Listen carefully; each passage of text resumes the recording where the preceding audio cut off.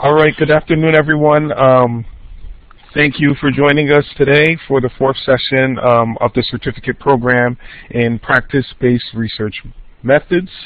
Uh, this is a virtual session and is facilitated by the Clinical Directors Network and the N Squared, a network of virtual training series funded by the AHRQ. Uh, this gives you live access to live and archived access to all sessions as part of the certificate program. Uh, the certificate program is developed by Dr. Jim Werner in partnership and the support of eight AHRQ funded PBRN counter uh, uh PBRN uh, Centers of Excellence. Apologize. Just some housekeeping for today. If you are having any problems with your audio, please click on the audio wizard at the top. Um, and if you are joining us via phone line, please be sure to mute your phone and use the raise your hand uh, button if you do have a question. Uh, you can also type into the chat room.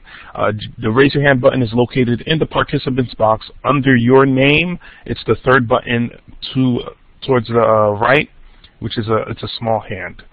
So now at this time, I will pass the presentation over to Dr. Jim Werner. Great, thank you. Uh, hello, everyone. Um, it's great to uh, present um, and introduce our uh, speakers for today. Uh, we're going to be talking about recruitment, engagement, and retention in PBRNs. Uh, these two speakers have a, a, tremendous amount of experience and knowledge and wisdom about doing practice-based research. And they're um, L.J. Fagnan and Melinda Davis. So first I'll introduce uh, Dr. Fagnan. L.J.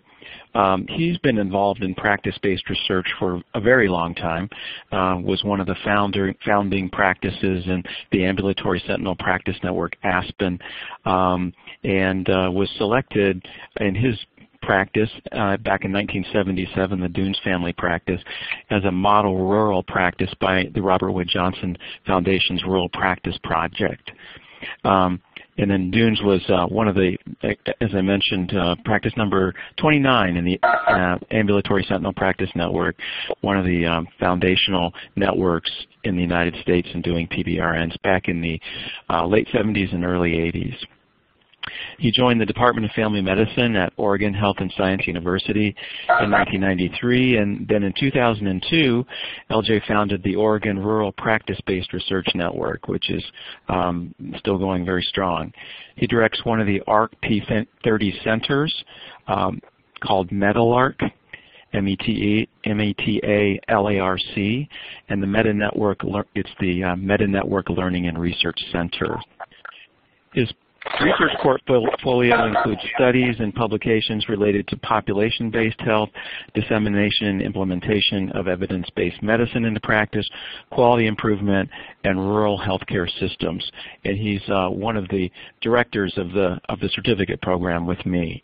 Um, so it's a it's a real privilege to have LJ speaking with us today. Also speaking today is Dr. Melinda Davis, and Dr. Davis uh, spent four years um, in Frontier Eastern Oregon as a Practice Enhancement Research Coordinator, or PERC, and you heard about PEAS the last time, Practice Enhancement Associates. This is somewhat similar to that. So she has real on-the-ground expertise, a lot of experience in actually making practice-based research happen and working with practices. Um, she's completed her PhD uh, recently in social and developmental psychology and accepted uh, a faculty position as research assistant professor in the Department of Family Medicine at Oregon Health and Science University in Portland, where both he, uh, she and LJ are both located. She's currently funded on an AHRQ Patient-Centered Outcomes Research PCORI uh, K-12 Career Development Award and is used using pragmatic coaching to identify, tailor, and implement evidence-based interventions for colorectal cancer screening um, into Oregon's regional coordinated care organizations. Uh, she has a lot of expertise in using participatory research approaches, mixed methods designs, um, and focuses on improving the health, health and healthcare delivery in rural and underserved communities in primary care settings. Uh, her research agenda, because she has been so in touch with practice as um, practice enhancement research coordinator, her research has been shaped by local needs and has addressed topics including childhood obesity, behavioral health care, unmet dental needs, care management for patients with multiple chronic conditions, and evaluating strategies for supporting practice change. So we have two um, uh, exquisitely uh, qualified uh, speakers today to talk about this topic. So LJ and Melinda, I'll turn it over to you. Great. Uh, so I'm going to have Melinda, Melinda's going to lead off for us. That was obviously LJ's voice. This is Melinda Davis, and uh, just for context, you can't see us in the video, but if you could, you would also see Liz Waddell, who's one of the, the fellows in the program, in the room with us, as well as Beth Summers, um, who's one of our current practice facilitators, and Emily Churnside should be joining us shortly. Um, what, what we're going to try and do in today's session is we, we heard a little feedback that um, it would be nice if there was more opportunity for some interaction in these sessions, if the articles that were assigned, if we could clearly kind of identify key points from those articles, and also if we could provide some time for conversation so the fellows could share. So to get started, I really want to do a little mini test run to see how, how well you guys can actually use this uh, collaborative system. So if you're out there listening, would you just raise your hand? So raising your hand, yeah, awesome. Okay, good. Yeah, oh gosh. Okay, there's a few at the bottom. So raising your hand is the, the hand sign that appears at the top of the participant listing. Okay, so when you raise your hand, it immediately puts a number, you can probably see it, puts a number and moves you around in the queue. So go ahead and take your hands down unless you really do have a question. Okay, the other thing is you can always see down in the chat box, there's space to type. And what we've, we've charged Amanda with today is really monitoring that chat box and trying to interrupt us if there are questions or cues or prompts that, that maybe you don't feel comfortable jutting in there, but you really want to get out. So please feel free to um, interact with us throughout this presentation. And we'll have some time at the end both for a panel for sharing as well as some facilitated conversation. So the goal really of our session today is to give a really brief contextual background for why research is happening in PBRN and how some of the work of PBRNs is now expanding beyond clinic walls and how that how that's related to kind of a changing culture of, of practice as well as a changing research agenda. And then really to focus on these strategies to engage clinicians, staff, and other stakeholders in, in the research process. Then we've structured the presentation so there will be some didactic lecture, but hopefully we'll move pretty quickly into our panel and then some time for discussion and feedback. So if you are out there multitasking today, I would encourage you to jot down some notes about what you're actually thinking about doing for, for the research project required through this training, and then to engage with us and the other experts on the phone today. Um, so in terms of knowing who is out there today, would you raise your hand again if you are a fellow who's on the call?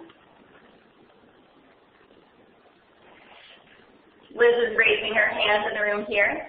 All right, and then raise your hand if you are a mentor who's on the call. Put your hand down if you're a fellow and raise your hand if you're a mentor. All right.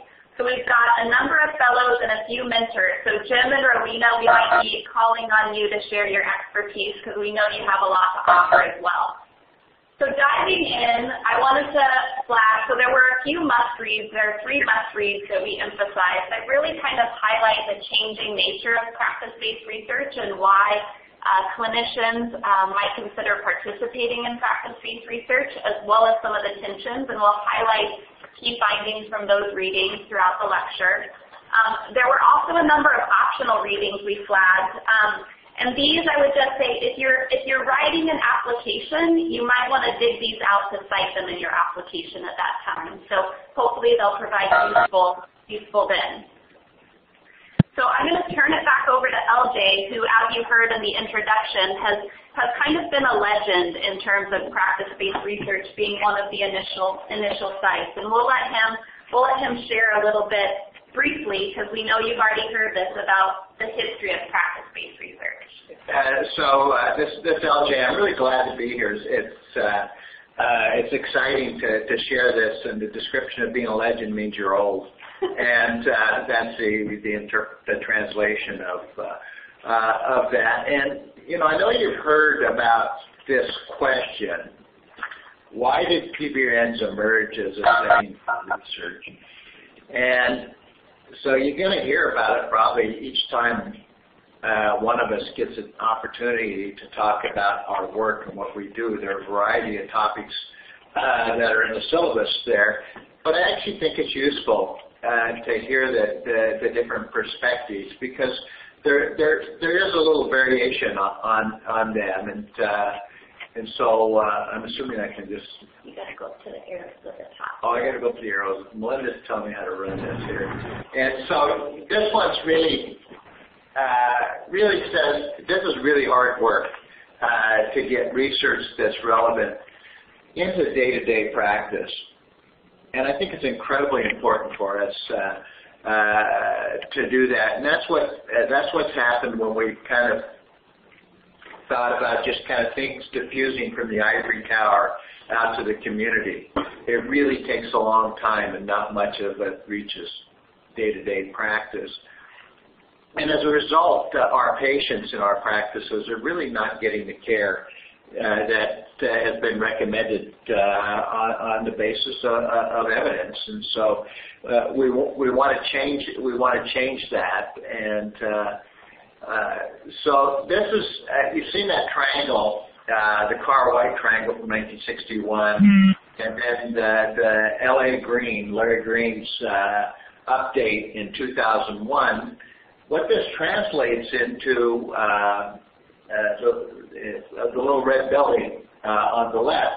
There are 113 encounters in that building for every encounter that happens in uh, our academic health center here at OHSU. And as I look at this, I'm thinking, you know, that the other issue is things are really complex. I mean, that's kind of a pretty complex structure uh, uh, that you're looking at with the academic health center. And and so how can research that takes place in that setting really uh, really have meaning uh, for those of us that, that practice uh, in these old square buildings? Uh, uh, seeing patients uh, on, a, on a day-to-day basis. And I'll jump in real quick for those who aren't familiar with Oregon. So the image on the right is OHSU, a picture of OHSU, our kind of tertiary hospital here, and the picture on the left is a small rural practice out in Scappoose, Oregon. And we want to take you, I, you probably can't see my arrow, but there's a tram that goes up, down. We've got a campus on the waterfront where we're talking to you from today, but then we'd have to ride the tram to get up to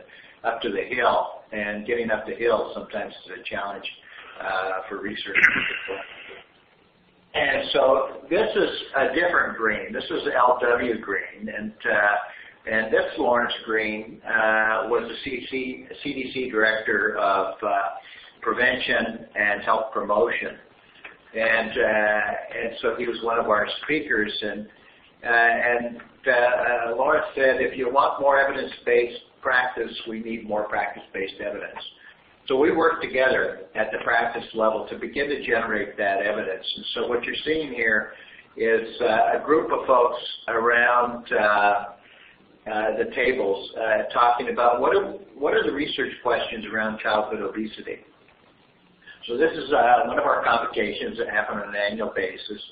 And then, uh, then the other picture has our steering committee that uh, really, really keeps us grounded and and staying connected uh, uh, to, to their to their practices. This is 10 years ago, and uh, that's that's still uh, still uh, foundational for us. Uh, so we had an opportunity, Jack Westfall, Jim Mold, and I, to to take a look at the NIH roadmap uh, back in 2006, uh, and the the NIH really wanted to begin to uh, to move research out of just totally the academic health center into communities and develop partnerships with organized patient communities, community-based healthcare pro providers who care for large groups of patients that are interested in working with researchers to develop, test, and deliver new interventions. So this was uh, was the NIH roadmap. Uh, had two main laboratories that the NIH uh, dealt with. So there's the bench research that those of us in academic health centers are familiar with. That's actually kind of the center of the research uh, uh, universe of academic health centers. Uh, bedside uh, uh, was was the other laboratory, and began to ex- extend that to uh, clinical practice. So bench to bedside, you're looking at phase one, phase two clinical trials, and there's translation that happens uh, to humans from from basic uh, basic science research. And then, uh, as a result of those clinical trials, you say, okay, let's let's try it out in practice.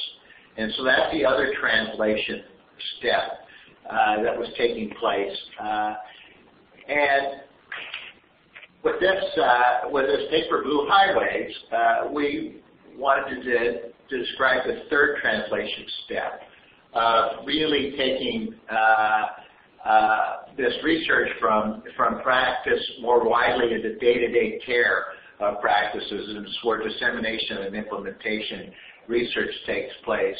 At the T2 level, that translation step was often guideline development, uh, academic detailing took place, CME programs, and T3 is really testing things out in practice.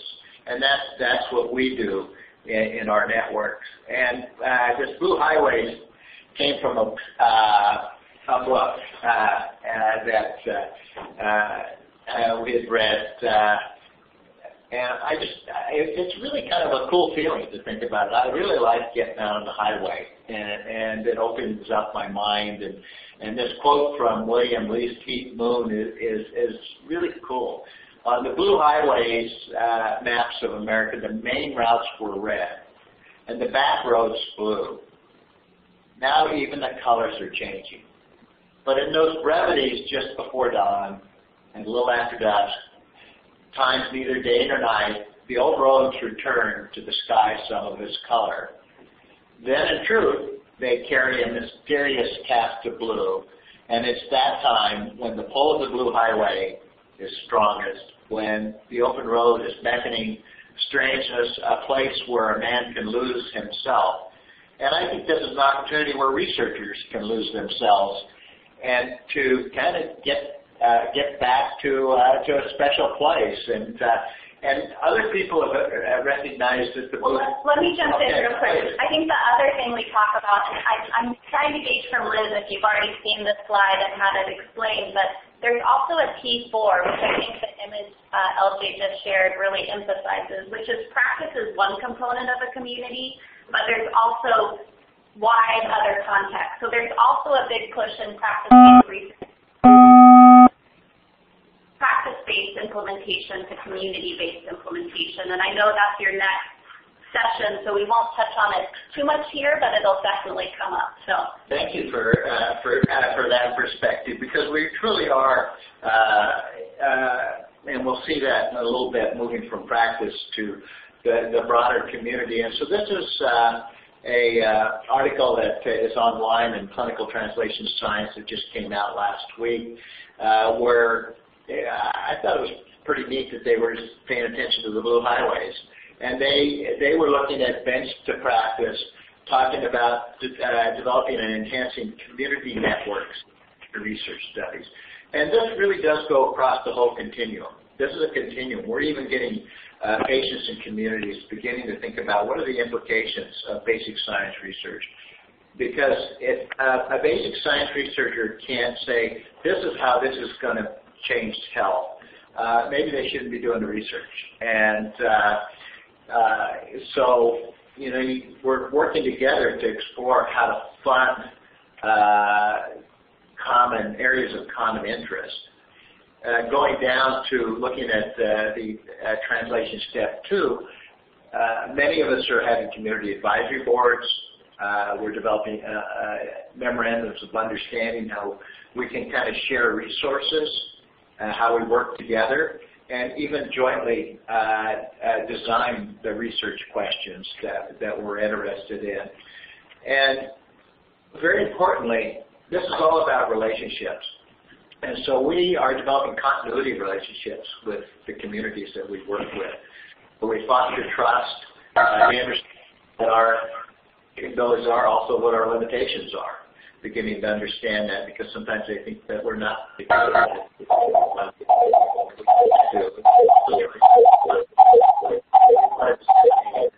important to practice. So this, uh, I thought this article was uh, was really worth uh, worth taking a look at.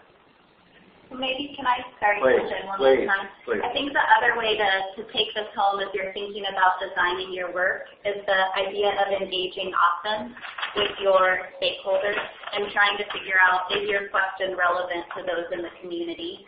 And as we continue to talk through the webinar, I think we'll really emphasize how the changing context of practice is really making it even more critical to make sure you're engaging in a way that um, developing questions that, that are a really good match for the stakeholders we hope to serve. And so the, the other point to think about is we do a lot of effectiveness uh, research, and we know that things are efficacious in highly controlled environments, but how does it really work in practice? Are they ready? Are the practices ready for this new knowledge? Uh, can it be adapted to meet their, their context of care? So there's lots lots of questions uh, uh, to, to, think about in making our uh, research relevant to the real world.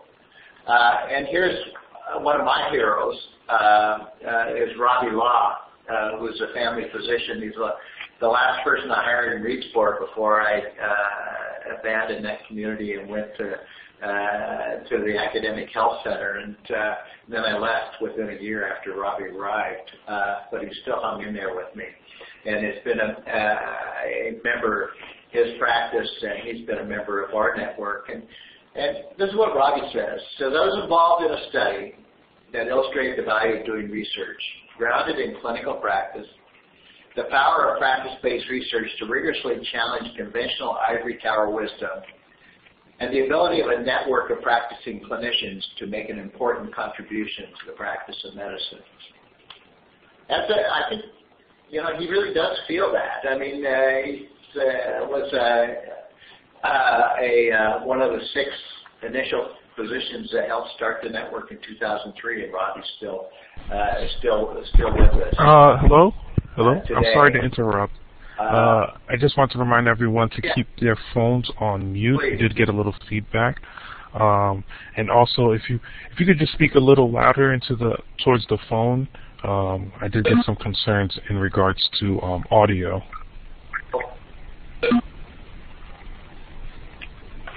Great, great. So I'm gonna I'm gonna pull up the uh, the mic closer to me, and I hope that's better. So Vladimir, let me know if that's if, if that's uh, uh, getting to where it needs to get in terms of uh, of uh, uh, in, loudness.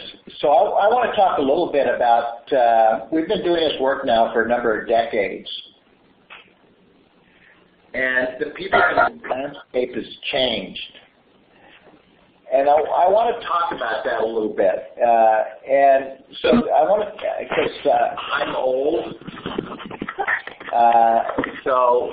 This is new rhetoric. LJ doesn't usually say that. Okay, but anyway, uh, because a lot of these people, and you know, Jim can relate to this, and some of you out there can can relate to this. Has primarily been uh, a family physician uh, uh, led organization. We're fortunate to have other other disciplines. Nurses, uh, pediatricians are a very significant part of what we do in practice-based research these days. And our network members are people that really uh, wanted to be involved in, you know, there's got to be a better way of doing things out there. And I also want to stay connected. So face-to-face convocations were, were important. When I was one of the Aspen members, I look forward to going to Colorado Springs and seeing Larry Green and Jim Werner and Paul Nutting and, uh, and getting together with other folks one of the uh, foundational things for us in practice is we didn't have a lot of tech then, and we kept things fairly simple. Uh, and the other thing that I think was a source of pride for us is we were considered a fringe movement in the research community. And I, I'm hoping that that's still somewhat the case today, because I like being on the fringe. Uh, and so this is practice number 29. Uh, so we wore clothes that were a little different. Uh, we had uh, we had hair, uh, and uh, yeah, right, okay. And then the and the uh, picture, uh, the figure on the right, where it shows four uh, four men. Bob Graham is with his thumb down. Uh, that's who the Graham Center for Health Policy and, and Research in Washington D.C. is named after. And uh, in spite of his thumb down, they did fund me uh, to be a part of the uh, of the rural practice uh, uh, project. Uh, and this is uh, this is our data collection tool. It's a card study. And we studied a lot of clinical questions. On this one, there were two questions that we were studying at the time, uh, looking at uh, uh, patients, uh, women presenting with uh, pelvic inflammatory disease, and also women that uh, were having a miscarriage. At the time we did this study, the dictum in Williams textbook of obstetrics was that every woman that was having a miscarriage in the first trimester should have a D&C and we know we didn't do that. And so uh, we wanted to document uh, what we were doing and what the outcomes of that were. And uh, and so we published a lot of this work. This is uh, from April 1994. Uh, and you can see on here that there are a number of common conditions, carpal tunnel syndrome, how does uh, chest pain present in primary care, undifferentiated chest pain, what's diabetes care look like, asthma, uh, we also published that paper on uh, the fact that women that were miscarrying uh, in the first trimester of pregnancy, most of them didn't get D&Cs and they did fine. And the next uh, edition of Williams Textbook of Obstetrics got rid of that that recommendation. And in this particular issue, Linda Niebauer, who's kind of one of the uh, den mothers of PBRNs uh, in the United States, who I really value my relationship with Linda, interviewed folks about uh, a variety of questions. Uh, why why were we doing this? And uh, and so we, we talked about it in that one. So here's what things look like these days. It's really hard. Uh, I'm sure we thought it was really hard back then, but it's like really hard now. Uh, patients are much more complex. Uh, it's uh, patient number of patient visits in a day has gone down. I mean, I used to see 30 patients a day. I'd be pretty exhausted uh, seeing 15 to 20 patients a day these days. Patients are a lot more complex. The visits are no longer just 15 minutes; they're longer. Uh, we're seeing fewer physician-owned practices. There are a lot of different motherships, and so there are many more layers that we have to go through as a practice-based research network to think about. Uh, and people are really busy. Uh, and and they're trying to cover a lot of bases. Uh, primary care physicians uh, shortage. There's a shortage, and the distribution is not always what it needs to be. But one of the really cool things I think has been the increasing role for non-physician clinicians. Nurse practitioners and physician assistants are incredibly important to the work we do. They're not mid-level providers. They're non-physician clinicians and I want you to get rid of the term mid-level providers and uh, respectfully call them non-physician clinicians. Uh, they're valuable partners in what we and what happens in practice. And the other thing is technology. Uh, technology at all aspects uh, of care, uh, and that includes with the clinician and with patients. And uh, wow, these, this is really true. I mean, I think paper records. Uh, it's hard to find practices with uh, paper records. We still do. Uh, uh, we still find some, and uh, they still do some really great work. But the electronic health record uh, has made its way into all our practices. It probably hasn't made life easier uh, for folks and that's uh, a, a, subject of much discussion and actually research opportunities. The other thing is the rise of integrated delivery systems. I mentioned the different motherships.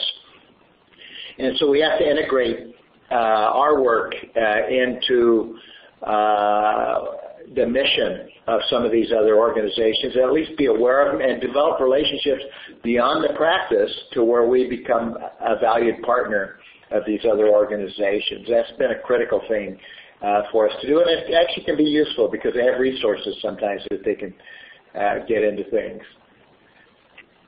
So I'm still okay? Uh, trying to remember. Okay. So uh, this is talking about how busy life is. So where are we going to get 18 hours a day? Where are physicians going to get 18 hours a day? And where are they going to get time to think about the research that we may want to do in their practices on top of that? So we just have to be aware of that. And so part of what we do as Practice-Based Research Network is to see how we can change this, this paradigm. And there are um, many opportunities to study healthcare delivery and to see how we can change this so uh, we can make uh, a livable day for the, for the clinicians and their practices. Right. I'll, I'll jump back in. So um, the reason I think we wanted to review some of the context of how practice is changing is because it's really relevant, I think, to how you think about designing your studies uh, for practice-based research networks. So one of the things, I, I started with ORPRN back in 2007 as a facilitator, and it was really interesting at that time because we were working with um, rural practices across the state. And when you would go out to engage with those clinics, they really saw you as a resource. They saw you as, as someone who connected them to cutting edge research knowledge, to opportunities at the main academic institute. And, and you were really the only game in town who had some quality improvement skills. And that, I think, as we'll hear from the panel, has changed quite a bit in terms of um, the support that's now provided to various clinics through their kind of mothership hospital organizations, um, through the various initiatives that are out there in terms of practice redesign, be it for patient-centered medical home or behavioral health integration or uh, achieving various quality metrics. And so um, not only potentially have, have patients got a little bit more complex and the structure of practices got a little bit more complex, but there are now many stakeholders who are interested in engaging uh, clinicians, clinics, and health systems, as well as communities and research. So in terms of the research landscape, we see some parallel changes in how studies are conducted. So instead of um, card studies or even when I started, we, we used to consider um, low kind of light studies and complex studies. And those light studies were chart audits, and they were really an opportunity to go into the practice to build initial rapport and relationships and to have the research team doing the work. Um, with the rise of electronic health records, you, you don't really see many chart, chart audit studies anymore. You see analysis using big data. And what I wanted to ask is to have the, the fellows on the phone, if you are actually thinking about doing some type of study using big data, so that analyzes data across either multiple practices or using the same electronic health record system, raise your hand if that's something you're thinking of. We see Liz raising her hand. Okay, Matt Simpson. So a few people, three of the fellows, okay. Up four, five, because we have Liz here. Okay, so a lot of you are thinking about big data and how to uh, answer some of your questions using those materials. What about the idea of multi-component intervention? So one of the, the parallels that we often see in practice is it's not necessarily a single intervention that's being tried, such as creating a new um, queue in the electronic health record. It might be something complex in terms of changing the health record system, changing practice workflows, and even adding a new member to the clinical staff. So how many of you are thinking of doing something that uses a multi-component intervention?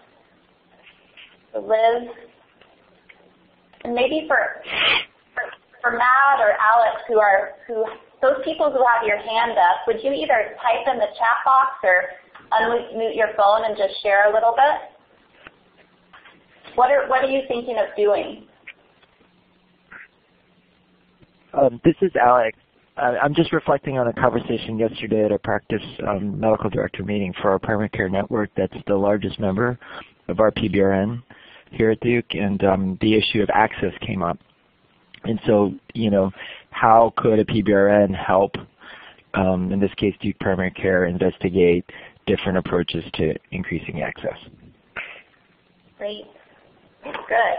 We'll look forward. We might call on you and the panel to explore that more with you, Alex. Thanks for jumping in. Um, what about any others? Tamer or Matthew, what, what are you thinking about? How, how are you approaching this? Hi, this is Matt, and um, I was thinking about doing was using registry data from primary care practices as a platform for community engagement intervention. Great. That sounds really, really interesting. And so basically, um, would you be looking at certain clinical indicators, or what are you thinking there? Yeah, I'm, I'm still early in my thinking, as you can probably tell, but um, probably starting with one sort of chronic condition, several mm-hmm. clinics in the urban area here, and seeing, you know, what we can do to engage the clinics and community outreach and things like that. Very interesting. Well, we might call on you as well.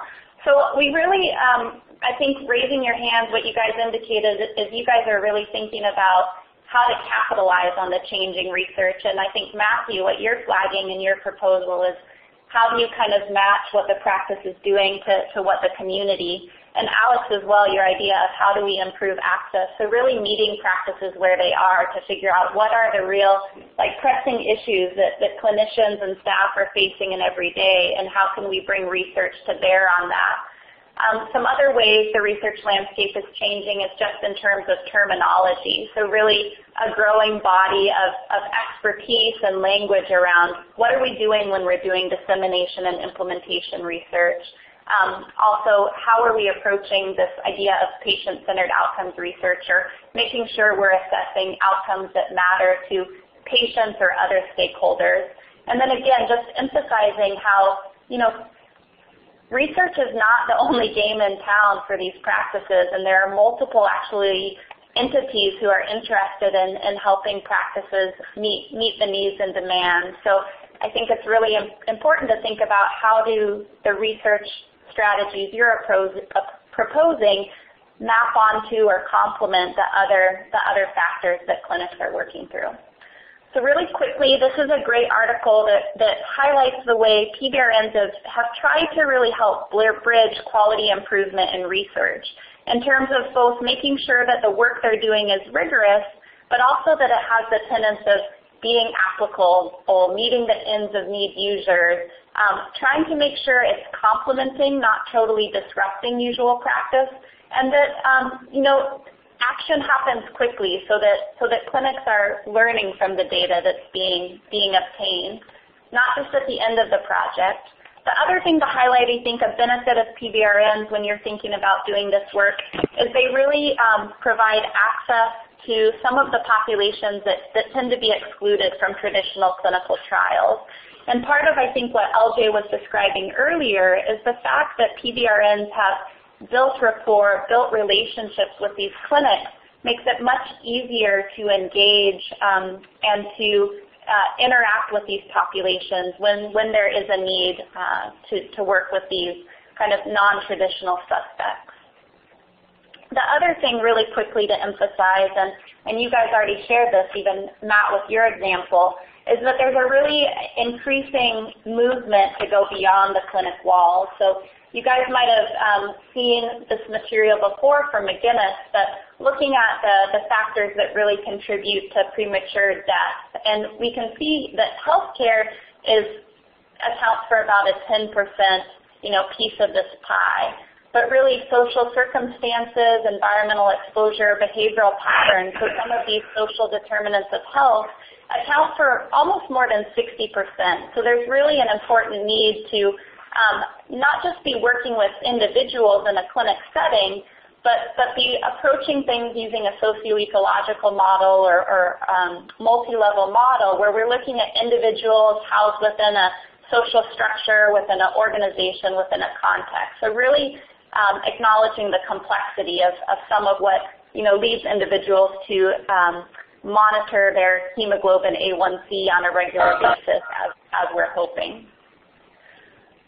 Um, so this is, Jim, this was something I think you really wanted us to emphasize, and it's something that I think is becoming even more important given this changing context. But um, when developing either research questions for a practice setting or for a community setting, there's been a traditional model. Sorry, I'm seeing Anne's, Anne's uh, comment there. Maybe we can revisit that but um, models of practice-based research and thinking about, is the question coming primarily from the researcher or the funder? Are you generating questions from the clinic, clinician or the patient using maybe a community-based participatory research method? Or are you actually doing something that is perhaps the most common, where you're actually trying to blend, where you're using kind of the clinical research expertise to map onto the clinician or staff or patient concerns and trying to think where is really that sweet spot where we can leverage kind of community needs with um, research expertise. Where, where is that? And I think, Anne, what you were saying is that in this figure, it's not that this is divided, there's actually interaction between all these levels. I, I think that's what your, your comment was referencing. So turning it back to LJ to start talking about, so what, what do we do with this? How do we actually try and motivate our stakeholders to engage with us in research? So, so given uh, given that, I'd like to, uh, you know, we're we've paced the, uh, this session so that there's time for a bit of a conversation uh, here, and I'd like to open it up. Uh, this is Amanda. Um, I'm sorry, but Alex yeah, had a follow-up. Alex Cho had a follow-up um, to what Melinda said earlier in the comment section. Um, what do yeah. we do when primary care's questions, especially in the IDS context, are less about clinical practice than they are operations? And are the funders embracing this shift?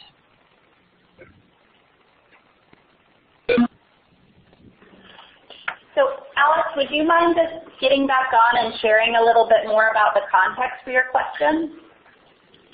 Um, so uh, thank you. Um, I guess like you know again in uh, attending the um, the practice medical director meetings and participating in this um, Duke Primary Care wide collaborative that we have, the focus of the improvements um, is really about producti- things like productivity. I mentioned access, and then other things like work-life balance. Um, and you know, these are clearly important questions.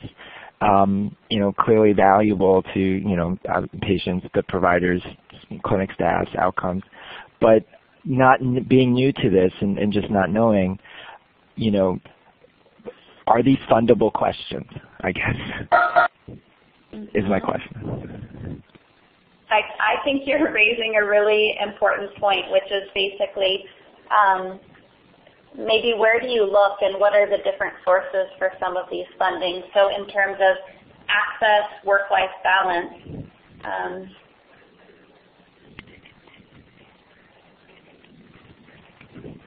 I don't know. LJ? I think, I think that's an incredibly important question, but I also kind of want to know, what, what does IDS stand for, Alex? Oh, Integrated Delivery Systems.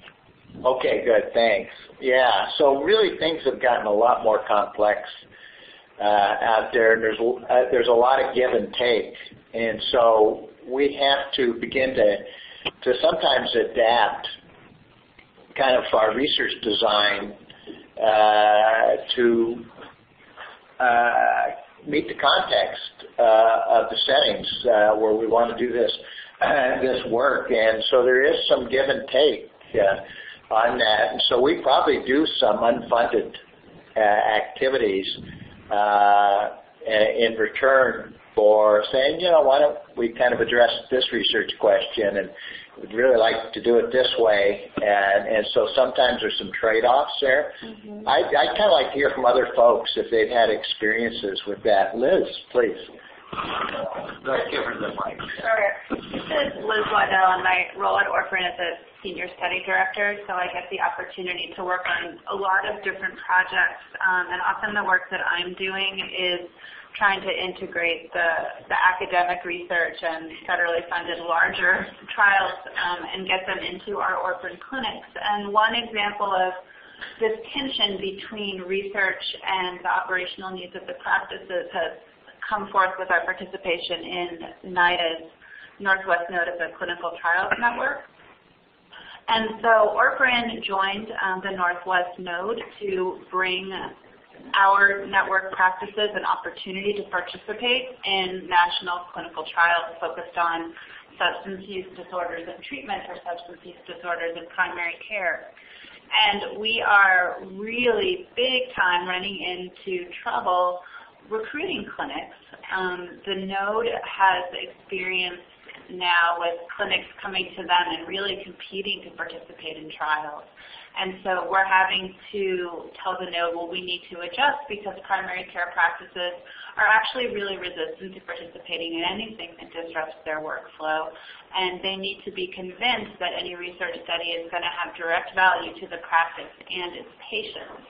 So when we bring um, a scientifically sound research protocol that involves um, surveys and follow-up and you know 45 minutes potentially of extended interaction with a patient, um, the clinic is really going to balk at that initially.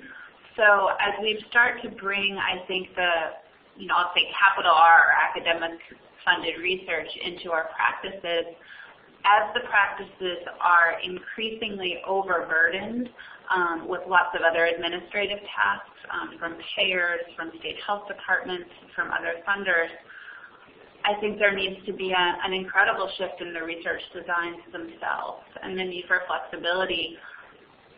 I mean, it's, it's there now. So I'm, I'm curious to hear from others if they have experienced um, similar issues as they try to recruit practices into more traditional trials. Comments about that? Because this is really hard. I'd like to hear from some folks on the phone about this. Hello? Yes. Okay, please. can you hear me? Yes. Okay, I'm uh, Tamer Said. I'm really, uh, I'm really surprised with the with the last comment regarding the, the difficulty. I think it is usually much more difficult to engage people in primary care compared to other more specialties, which tend to have more focus on research. And I was not really sure why. I think I think part of it is funding, but I'm really surprised to see that even uh, practices that seem to have the academic fund having difficulty recruiting clinics to be part, uh, despite the fact that the let, me, let me clarify. Okay. So ORPRN is part of, um, you know, we're a practice-based research net- network located at the university, but the practices within our network are typically unaffiliated they're private primary care practices mm. without any academic affiliation. But does, is the research itself is funded or not funded? I mean, are they getting a, com a compensation for the time that they are dedicating to the research the or not? Sure. So the research, the researchers have federal funding to do research.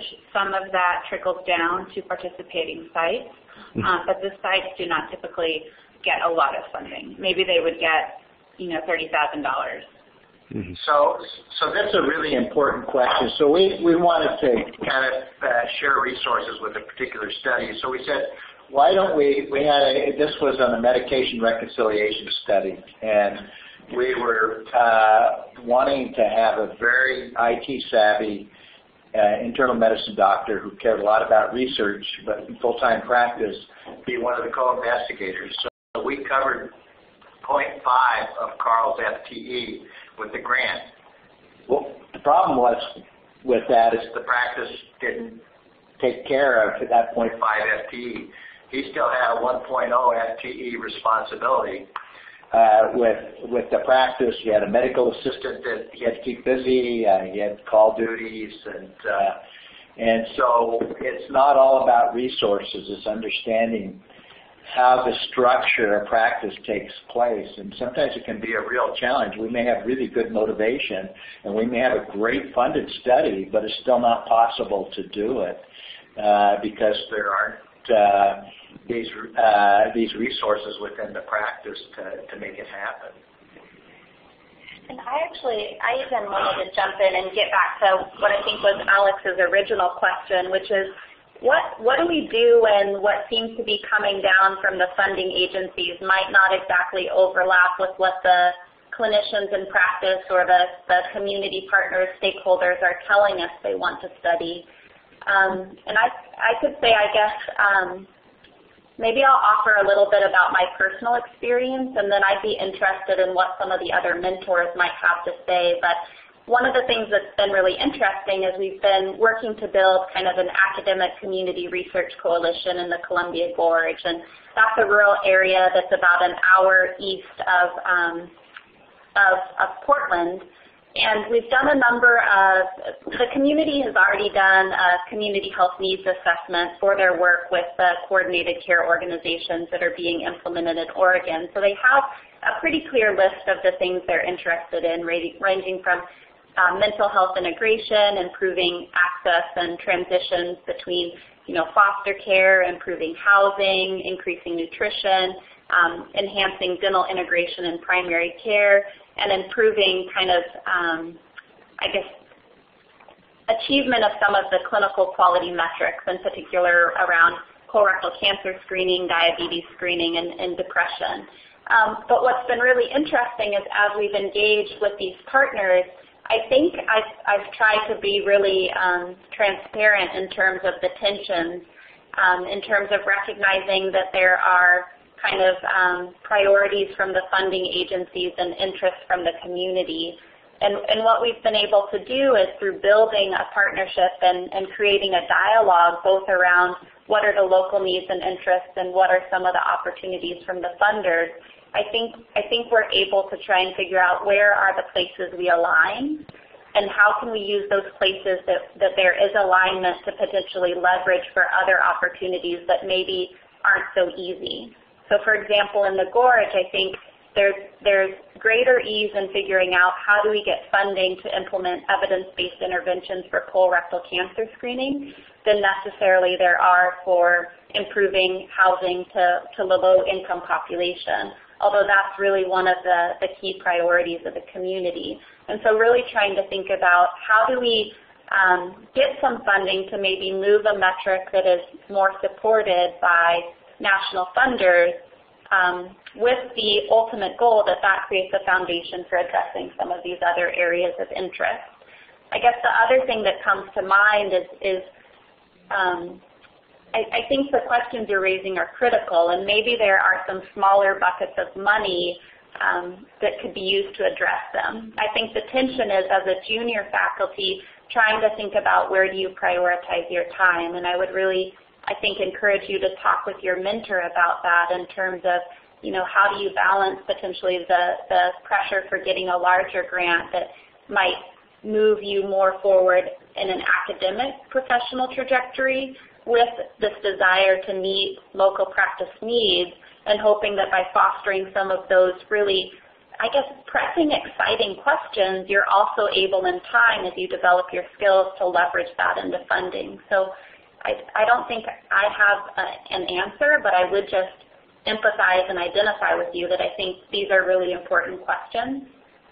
Um, the other thing I've noticed, sorry, is I heard somebody wants to talk. Yeah, yeah, yeah it was it was me again. I was I think one of one of the the major issues that I have going through you know going through residency fellowship and ending up being a, a, a junior faculty too is that you know there is we are in primary care I think we are the least emphasizing on research during training. So I think research is is not a big is not a it doesn't show up during even the residency training. I mean, there is always an included part of research that is mandatory, mandatory for everybody to graduate. But I think the emphasis is not there, and you don't find a lot of uh, mentors, research mentors during your training. And I think this is one of the issues that, that does not clarify the vision for residents early in in or early when they're starting to see primary care to understand that research is really important and it really can transform practices early in the training. Uh, I'm sorry, transform practices later when they grow and they can continue with that. And I think mostly we, when we are trying to enhance the academic potential in in the trainees. I think this is usually is really very helpful later on to get more engaged. When you talk about more like like we were talking about private practices and stuff, I think that since the academic potential is not there, I think research tends to get a little bit more um, neglected, I would say, and the interest becomes a little bit uh, less. That's that's what that's my impression that I I, uh, I I I can figure out that this is one of the main issues that we can uh, try to tackle to improve the interest later on when somebody graduates. Boy, what a, what a great comment. I, I think that that's really right on target. I think we haven't really uh, uh, done much of that in, in our, our training programs. And I'd like to take, you know, we've got this big question up there, and I think I like where the conversation's going. And I'm wondering, Melinda, if we can't just kind of be a little flexible about uh, kind of moving uh, to more of an interactive uh, component and get uh, and, and get the panel. But I'd like to to hear uh, from some folks that have been making comments. Uh, Rachel, you want to expand on on, on your uh, uh, uh, here? Sure. Can you hear me all right? I, we hear you great. Great. So yeah, I had made the comment in my former position. I sort of became the director of research by default and worked with residents directly designing research projects, some of which were inpatient, but many of which were in our outpatient family medicine center. And, um, you know, the ACGME and the AOA do require family medicine residents to complete two scholarly projects, one of which must be a quality project. And what I experienced was that there's a, a broad range of differential in different programs in terms of the rigor of what happens. Many programs do things to sort of check the box in terms of getting that requirement done um, using different resources where people can work in giant groups or do sort of very limited stuff that isn't really under the category of true research or even true quality projects. There are a lot of people though who do do these and do them well and we see residents presenting at STFM and all kinds of other things the problem that I think most of us who are trying to do these things realize is that most of our faculty do not have a background in public health or research or biostatistics or things in order to have the ability to lead these projects and guide residents who oftentimes themselves don't have a lot of research experience coming into family medicine.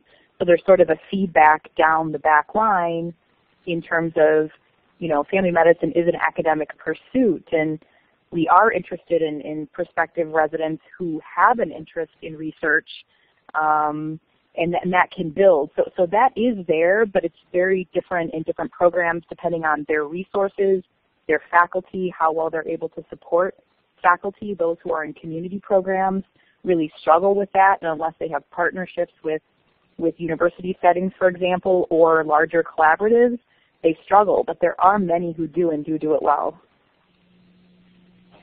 Uh, Rachel, that's that's great. Uh, we've got some other folks that we want to hear from. Uh, uh Tamara, do you want to comment?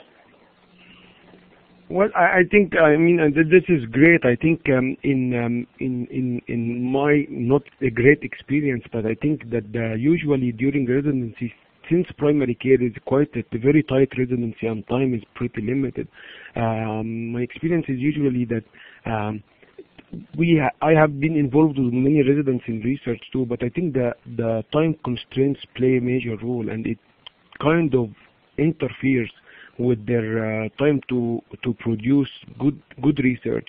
And I think the idea is not to be able to do just the quality improvement research during residency, but the idea is to look into further how can they improve it and look for funding later on and try to enlarge their uh, prospective research rather than I think quality improvement is great, especially in a clinical setting, but I think to progress further and look at further funding and try to approach um, you know higher yield research, I think still is an issue.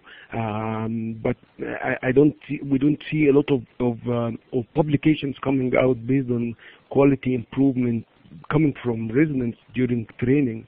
um, as compared to other specialties that I have seen with cardiology, for instance, with gastroenterology, which uh, seem that the yield is uh, a little bit higher than ours. Thanks, Tamara. I, I, Anne, you'd uh, written in a comment. I'd like to, uh, to hear your perspective. Yes, can you hear me? Can you? Oh, good. Okay. Fine, um, yeah, I, I sort of wonder how we're preparing learners going through med school and residency to become um, physicians who are willing to be engaged in practice-based research in their community practices. And I just don't know if we have a lot of opportunities for learners to um, to sort of see physicians who are perhaps a member of a practice-based research network. And I was wondering about um, if people had ideas of, of how we can cultivate that experience for people in their training, not necessarily so they become um, researchers, for example, who are going through a fellowship like this, but so that they can become um, clinician, community-based members of, of practice-based research, which um, I think we need to consciously cultivate that, that group as well as our cohort.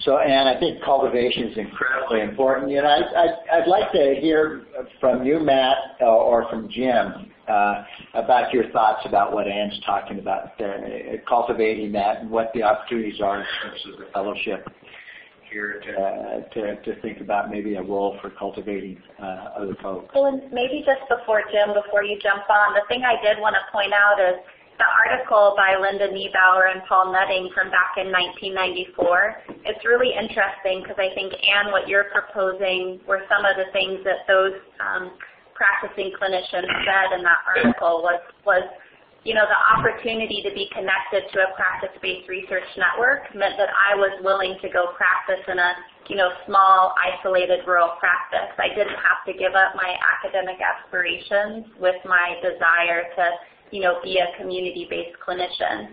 So I think one of the things that, that strikes me is it's interesting that, what is that, well over 20 years ago, some of the motivating factors perhaps for people to engage with PBRNs might be similar motivating factors that occur today despite all these complex changes in the system. So Jim, I don't, I don't know if you have more insight, but. Well, um, I think it's a great discussion and really very important because uh, we, we really do need a pipeline of uh, young clinicians coming out of residency who want to do research in primary care. Um, and it is it is challenging to do. And I, I think I think uh, what what what probably is highly influential is seeing that modeled by um, by people in uh, by the preceptors in residency training and elsewhere. And I think in the subspecialties they see a lot of that. Um, in oncology and clinical trials are going on, and you know a lot of oncology practices. That's just part of practice. And when we've approached um, some of the subspecialties about um, developing PBRNs, um, one of the responses we got was, well, we're already engaged in a lot of clinical trials research. We're already doing a lot of things. Sort of our our uh, available time for research is actually already, uh, we're already engaged in research, but we don't really have that in primary care.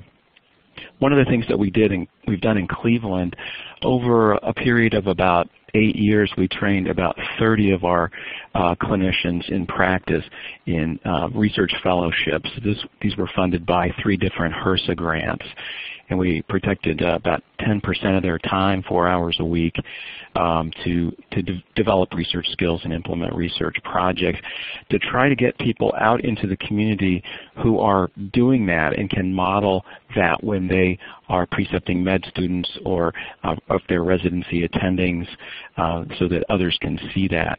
And so what we're now that HRSA funding is not as available, what we do now is take some of our shared resource funding and we've created a micro grant program. So we have these $2,500 uh, small, tiny grants that are mentored projects. So we work with clinicians um, and either Kurt or myself will mentor them in developing and pursuing a research project or a small group of them, or even better yet, we'll match them with an investigator who's doing similar kinds of work or is interested in doing similar kinds of work. And together they can uh, develop research skills in the, the, the, clinician and then the academic can perhaps generate some preliminary studies data. Um, and almost always these, these small studies are publishable. So these are just small things that we're able to do now, but we usually have three or four going on at any given time. So it's helpful, but it is um, it's it's a culture challenge. I think you know, as I was talking about earlier, um, the culture is a little different, and and um, it's a culture shift perhaps, but it's also now um, become um, practical matters are really affecting the, the available time for clinicians. So you know, it's not an easy there's no easy answer to this, but I think um, I think uh, you know working within residencies and training attendings uh, is is really an important uh, direction to think about. So thanks, Jim. We we're going to continue this discussion, uh, and uh, there's uh, a comment or two in the chat box that we want to follow up.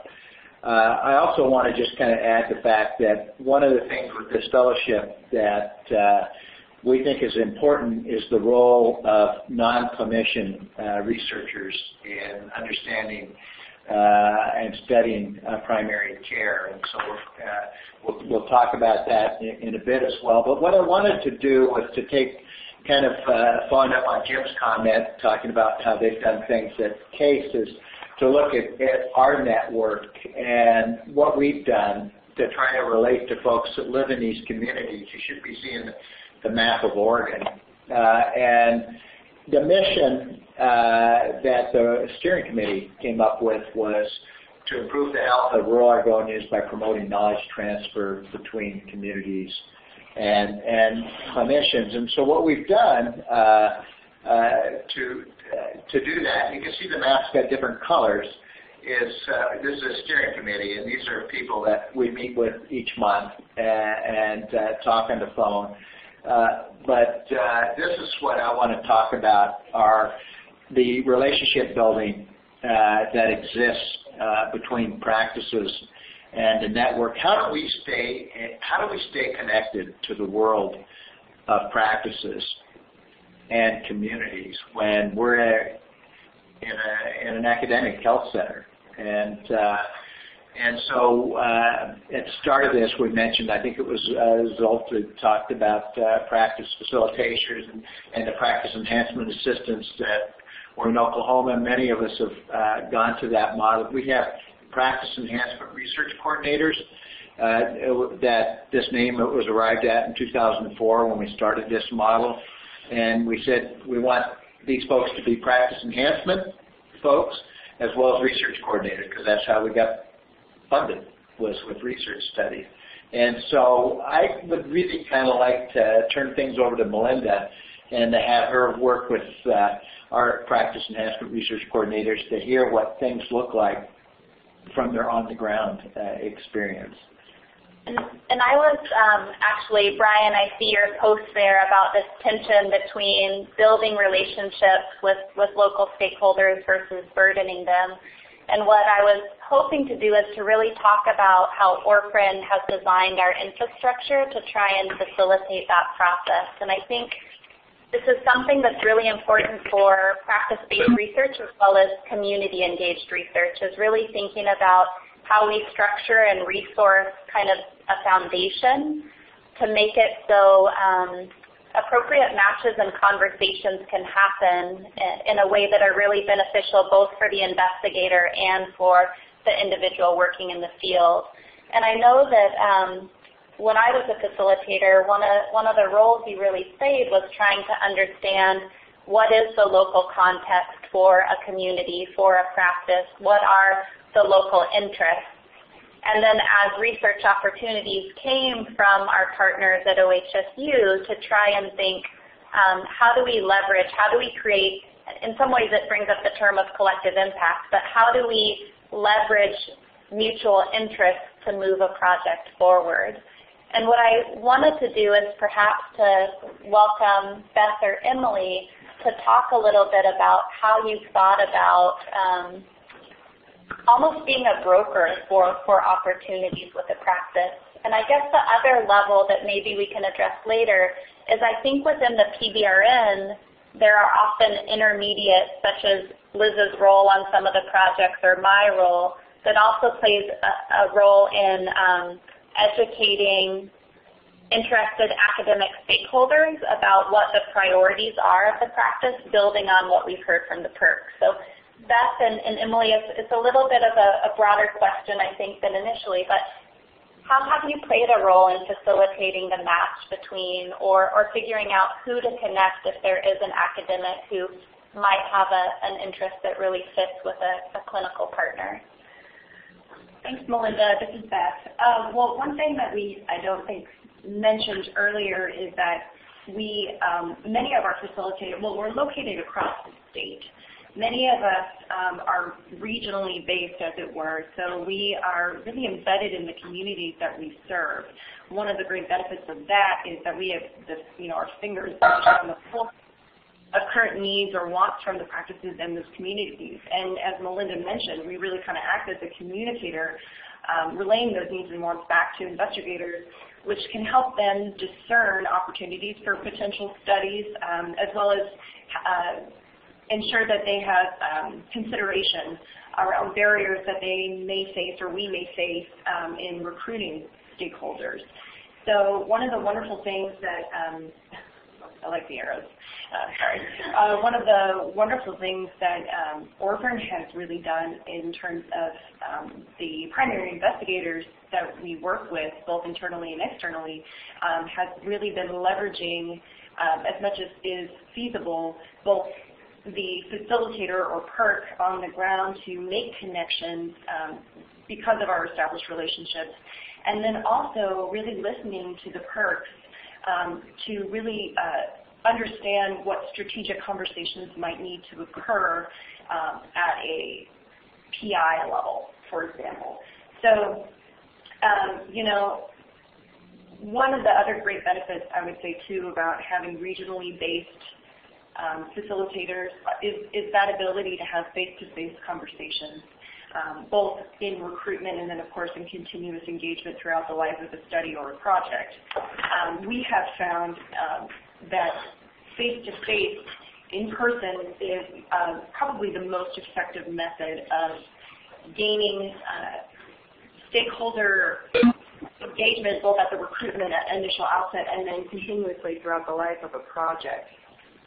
So I would say that we one of the major pieces that we do is is really to um, both continuously message around the mission or vision or goals of a project um, to help folks who are participating be able to connect back the daily activities or the work that they are doing around the project, um, which is very easy. We've all experienced it um, both in our personal lives and in our work atmospheres that, you know, you can really lose sight of, of the reason, the perspective, the point of the work that you are doing, and that really does affect your motive, affect, excuse me, uh, your level of motivation. And so that's part of what we do is to help them connect back to um, the purpose or the goals of the study, and then to really, as much as feasible, align with with what their current needs are.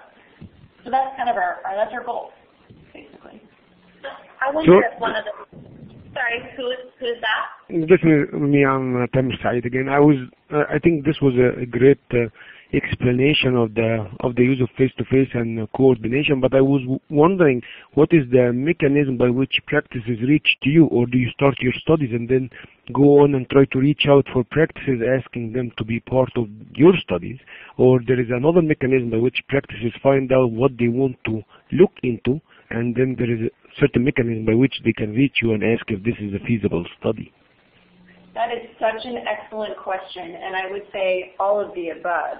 One of the great benefits um, is that you know we ORPRN has been around for quite some time, and LJ is very, very well known across the state. So he's been working on his networking for quite some time. So there's a, there's a base that we have. But um, I'm hoping Emily can actually speak to some of this uh, as it relates to our approaches to uh, reaching out to practices that we have not worked with historically in our new Healthy Hearts Northwest project. Um, and, and there are many different approaches. Um, but media is one method that we really um, have also been looking into and doing a lot more about. We've got a really great e-news and electronic newsletter that comes out monthly, monthly, excuse me, um, and and a lot of different mechanisms for practices to connect with us proactively, as well as of course us doing that outreach as well. So Emily, I want to turn that over to you. Sure. Do you want me to briefly describe the project first? Or so, um, like Beth said, we are working on our Healthy Hearts Northwest project right now, which is a 36-month-long project funded by the Agency of Healthcare Research and Quality. And basically, um, it is tailoring kind of the PERC position into helping practices move the needle on their overall cardiovascular health of their patients. Um, so that um, entails 15 months of practice facilitator or PERC support as well as health information technology support. And um, the project is aligned with the Million Hearts campaign. So we're working directly with the ABCS measures, which are um, aspirin when appropriate, blood pressure control, cholesterol management, and smoking cessation. And as you're working with those metrics, we are also um, kind of coaching them towards a sustainable infrastructure for quality improvement that doesn't just go away when uh, the practice facilitator leaves. Um, and we're also helping them leverage their Q, or excuse me, their um, EHR and their HIT to use data to identify care gaps in their patient panels, and again, um, have a sustainable method for quality improvement. So um, that's explained how ORPRN has a great base of practices that we work with, but um, we've been, or I've had a lot of experience working with cold calling practices. So um, it has proven to be really difficult and kind of the, the broad overarching uh, message we've kind of come up with is that it takes a lot of touches to get through um, to practices and get to the right person. Um, it does start with a cold call. It, it, could start with a cold fax of material and literature, um, a cold email, um, but after that it's asking for often the clinic or practice manager um, if they're available to hear kind of literally a two-minute pitch. Um, sometimes I can hear them you know, doing other things while they are listening to me on the phone. So it really is about um, drilling down to a really key message. You are selling the project. So it, it really is kind of salesmanship. Um, if they're willing to hear you out and give you a fax number and email, that's you know that's your second touch. And then sometimes um, a method that we've been using is talking to the scheduler. So if we can't get through to a provider, if we can't get through to the, the clinic manager, we're asking, you know, is there any way we can come in over the lunch hour for a 30-minute quick meeting? Um, and those have proven to, to be our most successful approach. When we get our foot in the door, when we get that face-to-face -face interaction, that's really when we kind of seal the deal on the project. So I, I want to just echo a few of the things that Emily um, highlighted, and just to um, illustrate, I think, the benefit of potentially working with an existing PBRN or existing community engaged research coalition. And then I know we have um, about 10 minutes left, and so I was thinking maybe we could um, potentially tackle the question that, um, yeah, um, the question that I think it was Brian you'd raised about your own study. I thought maybe we could puzzle through that with you as a as an exercise. But I think um, the question is how do you identify research questions and how do you either engage clinics um, in a study that's already been funded or how do you move a clinic's idea toward a funded study? And I think what Emily was describing is this idea of how do you, the PERCs do a really amazing job of knowing the local context, the local lay of the land, the competing priorities on this practice, and making kind of the, almost the business case for why a clinic would want to engage in the study. I think that the you know other side of that coin is this question of how do we help practicing clinicians or other stakeholders move their potential interest into research questions.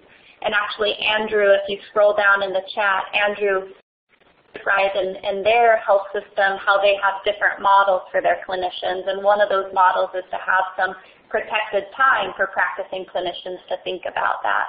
Um, you can also look in the community engagement literature. I mean, there's a, a big move now, at least in community engagement work, to think about how how do we build these partnerships? How do we foster kind of questions from the ground up? And I think ORPRN has tried to do that for a number of years by having an annual convocation. We have monthly meetings with our steering committee where those clinician members really vet and give input on potential research studies.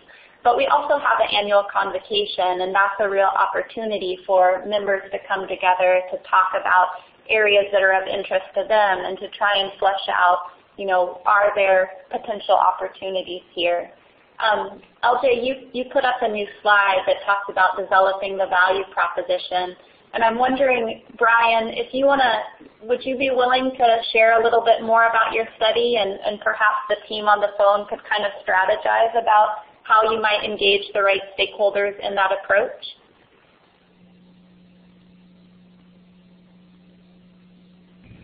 Can you hear me?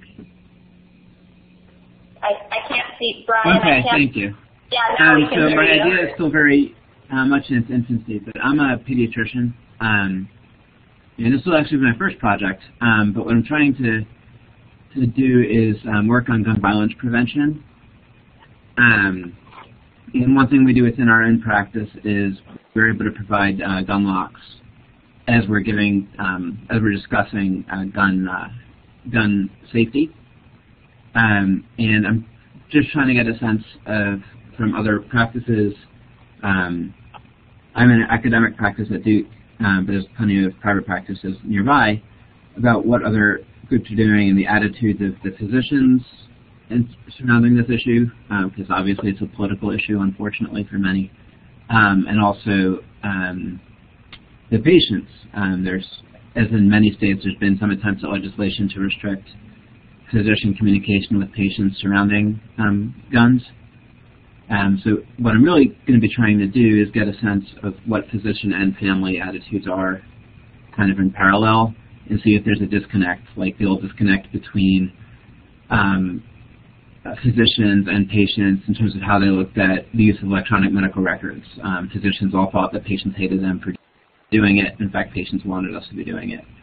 So kind of along that parallel. And what I'm trying to figure out is kind of how to engage some of the local private practices, because I, I think this intervention is probably more broad than just within my own academic practice.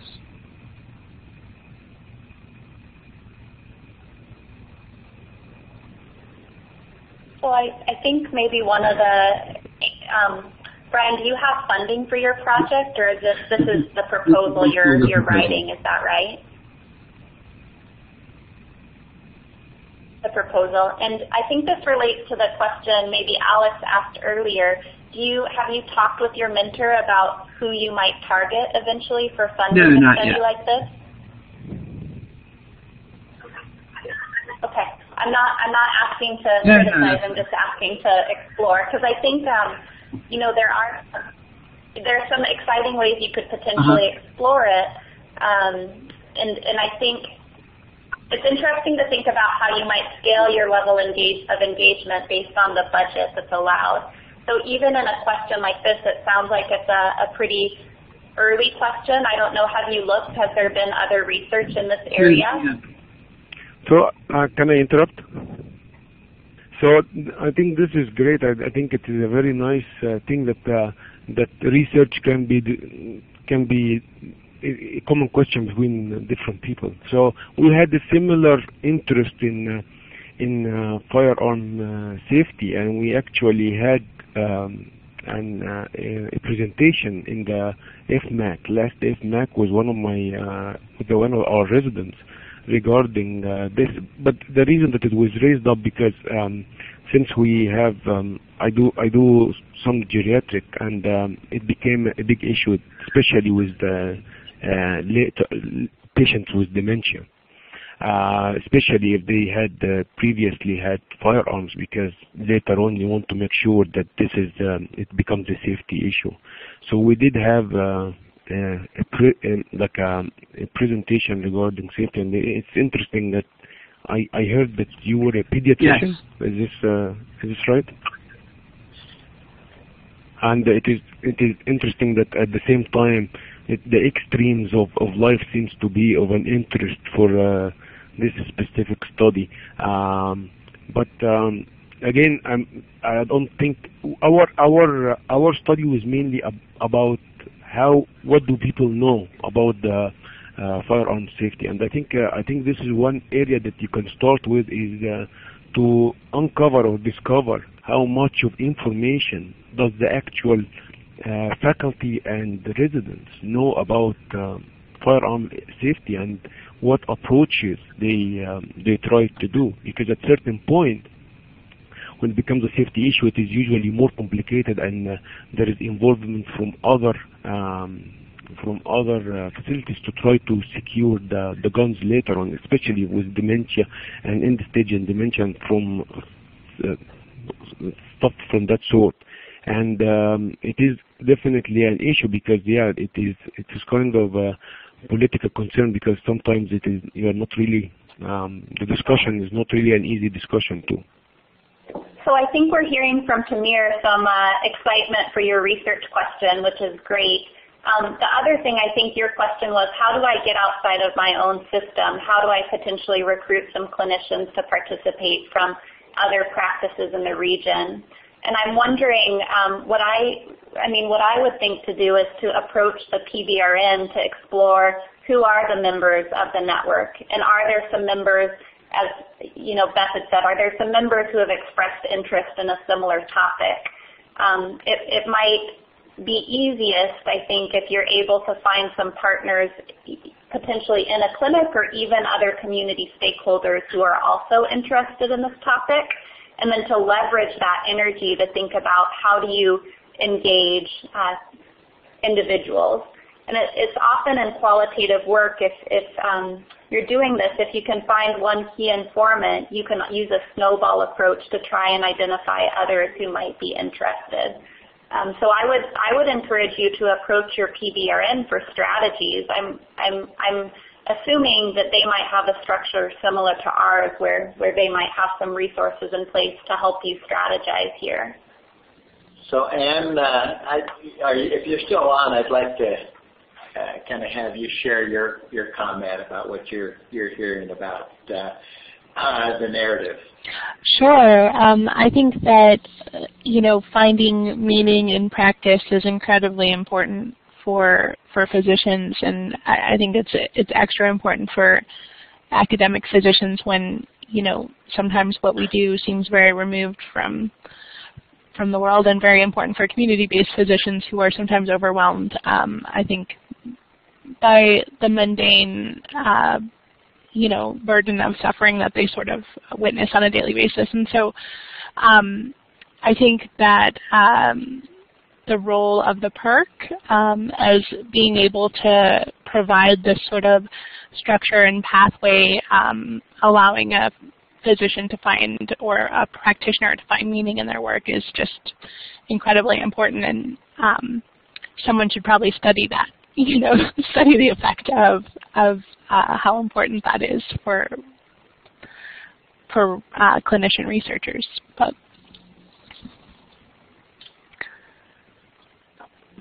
So I, I think maybe in the interest of time, Anne, I think you gave a really nice closure, which is this idea of um, using research to inspire and to help people sustain in what can be really challenging situations or, or challenging environments. And um, one of the articles that was a, an optional read was this study on um, reflections of practice-based researchers in terms of participating in studies. And I think the findings here really speak to that in terms of um, competence, autonomy, and relatedness. So really feeling like you belong. Being part of a network is an opportunity to belong. So um, I, I guess in terms of final advice, I might ask LJ for his comments, but um, thinking about um, the meaning of the work that you do to the stakeholders you engage, I think is one element.